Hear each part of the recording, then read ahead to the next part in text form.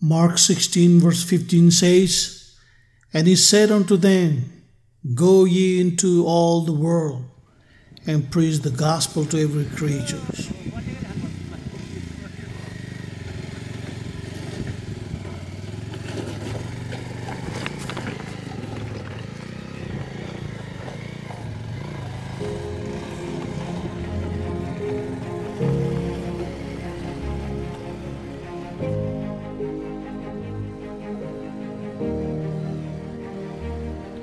We thank our Almighty Father who helped us and kept us safe in our yet another difficult mission trip to the remote places in the Himalaya.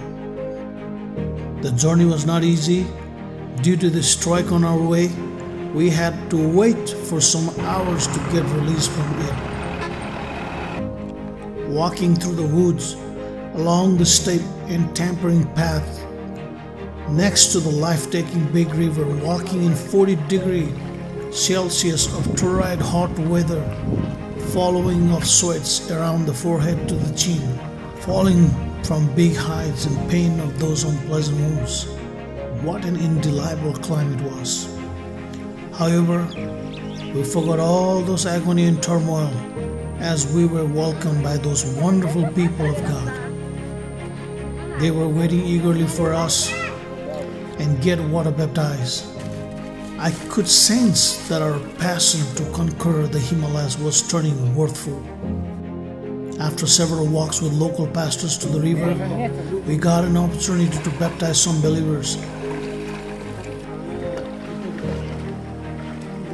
Despite of our harassed travel, we were so happy to see those smiles in their faces. The smiles and happiness were one of our greatest achievements while being there. It was already night and we had to return through dense forests since the forest had a lot of bad stories of man eating alive by tigers and leopards. We were obviously afraid as any normal human being reacts in such situation.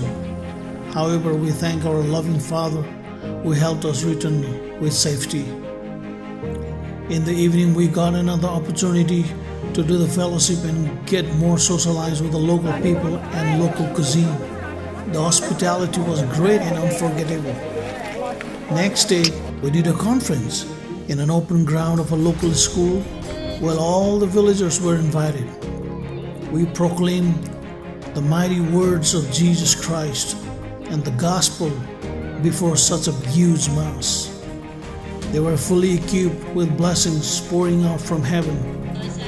Few local believers did fabulous presentations like singing and dancing. We received thanks and appreciation in our feedbacks. Many people were touched by the conference.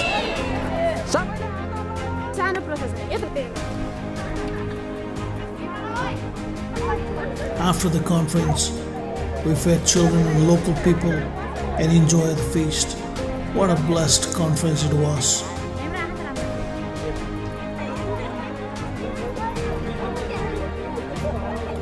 We thank our Lord who helped us return safety back home.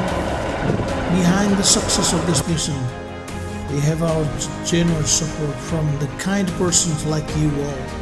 Without your support today, we wouldn't make it to such a remote area. Taking gospel, winning souls, and making Jesus famous all over the Himalayas. Thank you very much for your prayer and sacrificial support. Thank you very much for your partnership. Your partnership hasn't been wasted, but been a source of blessings and happiness all over the Himalayas. We hope you have been blessed with this video. Keep supporting and partnering with us today for impacting and transforming lives. May God bless you. Amen.